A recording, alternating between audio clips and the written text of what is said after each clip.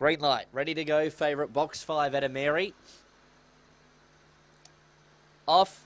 Adamary left okay out wide. Hustling forward as Nifty Rain close to the inside. Adamary got checked and put out a play. So Nifty Rain will lead at the post. Rebel away second. Third our Silver Mist. A breakaway then to Molly's Promise followed then by Hayden Ellis, then followed Emarina Only. One last fantasy, and Adamary's tail right off after that early trouble. Nifty Rain, a narrow leader, joined now by Our Silver Mist. Our Silver Mist took the lead off the back, got clear from Nifty Rain, then followed Rebel away, but around the home corner, Our Silver Mist in front, and Our Silver Mist will win from Nifty Rain and third Rebel away. Way 150.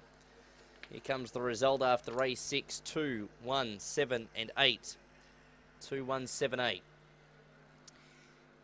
In a margins, 37, 38. 37, 38 is the gallop. 37, 38 the gallop. 2, 1, 7 and 8. Two first, our Silver Mist. Win two at start number 10. A daughter of truly special for